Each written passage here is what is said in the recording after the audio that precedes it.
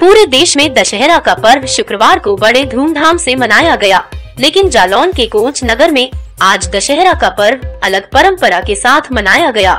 यहाँ पर राम रावण और लक्ष्मण मेघनाथ के बीच युद्ध का सजीव चित्रण हुआ है, जहाँ रावण मेघनाथ के बीच 20 फीट के पुतलों का युद्ध राम और लक्ष्मण के साथ हुआ और अंत में बुराई के प्रतीक के रूप में रावण और मेघनाथ का संहार राम लक्ष्मण द्वारा किया गया। यह युद्ध कोच के ऐतिहासिक धनु तालाब के मैदान पर हुआ और इस युद्ध को देखने के लिए 20 से पच्चीस हज़ार लोग इकट्ठा हुए। वैसे तो पूरे देश में रावण और मेघनाथ के पुतलों को एक बटन दबाकर जला दिया जाता है, लेकिन जालौन के कोच नगर में पुरानी परंपरा के अनुसार युद्ध कराया जाता है, जिसमें रावण और मेघनाथ युद्ध के मैदान में दौड़ा दौड़ा कर मार दिए जाते हैं। इस परंपरा का निर्वाहन कोच के लोग एक सौ उनहत्तर साल से करते चले आ रहे हैं, जो आज भी बदस्तूर जारी है, जिसे देखने के लिए दूर दराज के क्षेत्रों से लोग यहाँ आते हैं।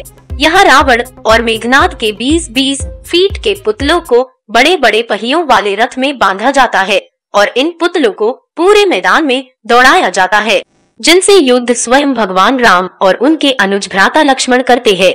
इस युद्ध में कई बार मेघनाथ और रावण के पुतले ज़मीन में गिरते हैं जिन्हें लोग पुनः खड़ा करके मैदान में दौड़ाते हैं और यह तब तक चलता रहता है जब तक दोनों की मौत ना हो जाए।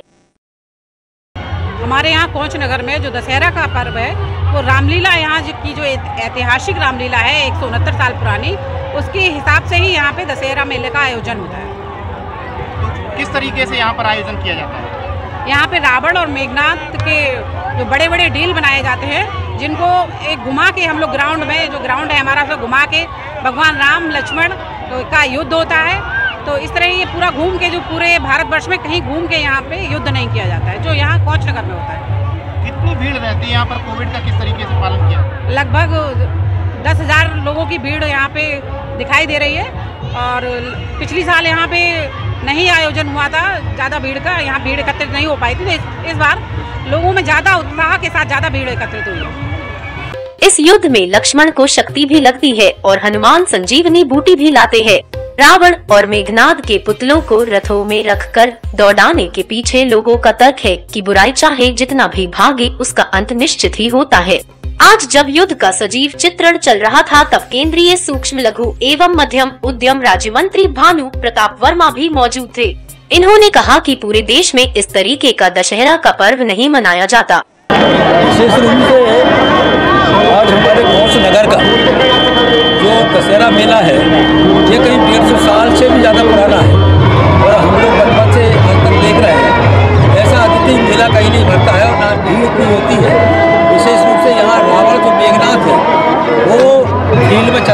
हैं, दौड़ाए जाते हैं।